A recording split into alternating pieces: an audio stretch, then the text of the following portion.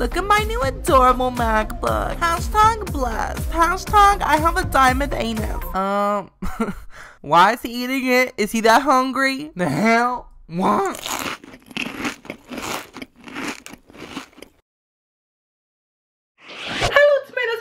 I'm fantastic. You guys, I love Apple so much. Like, I'm the biggest Apple fan. I just, I love it so much that I literally want to eat it. Like, I want to eat Apple. I want to shove it in my mouth. I want to digest it. I want Apple inside of me. and so today I am making an edible MacBook. Yes, it's true. It's going to be 100% edible and it's going to look just like a MacBook. It might not taste like one, but it's going to slay and the dog is barking. Shut up. So yes, it's gonna be so much fun, but before we get started, don't forget to hit that subscribe button to become a timato. We're trying to reach 800,000 timatoes, and it would slay if you could become a juicy red timato. Once again, this is a collaboration, y'all. Timmy, you collab in every video. And the problem is, what? What's the problem? Nothing.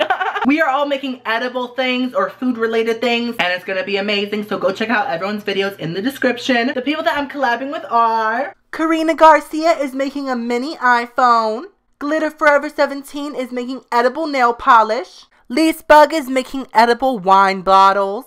And Lucas is making a Starburst air freshener. Slay, slay, slay, yum, yum, yum. Go subscribe to all of them. They're all amazing, amazing YouTubers. All their links and info and the video links and will be below.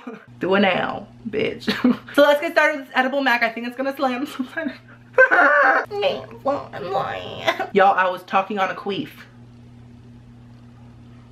Enjoy. I am doing this voiceover at 6 in the morning. I stayed up all night, so I apologize if I fall asleep or queef or piss my pants. You will need a laptop case to use as a mold, so waste that shit. You'll need tons of candy melts, like a ton, and you'll need plastic wrap, the shit you put on sandwiches, and this silver sprayable food coloring. I sprayed it on my ass and I felt like a robot. So first step, we're gonna take a big ass bowl and we're gonna put all of our candy melts into the bowl. It was really strenuous, honestly. Like it took a lot of effort and I was sweating and my vagina became a swamp, but it was worth it. So we're gonna take our laptop case and dissect it. So basically we're just gonna rip it the fuck apart. We're gonna take off all the little extra things, just make it like a bare case. So rip that shit off, rip that little dick off, take the little tag off, take off the middle thingy. What it is that a bondage strap? This is not 50 Shades of Grey. My tomato seeds are precious and you need to stay away from my tomato seeds, aka my ball sack. So then I cut through the zipper and I honestly felt like a strong straight man, like hammering shit and like, you know,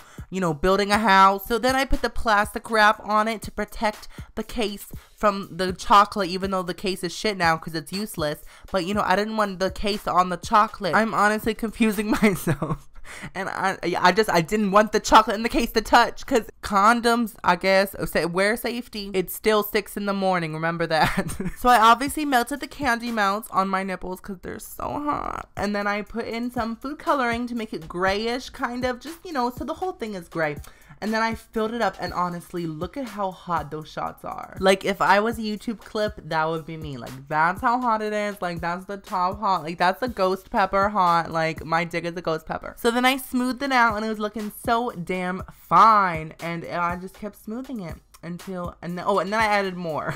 and then I'm so tired.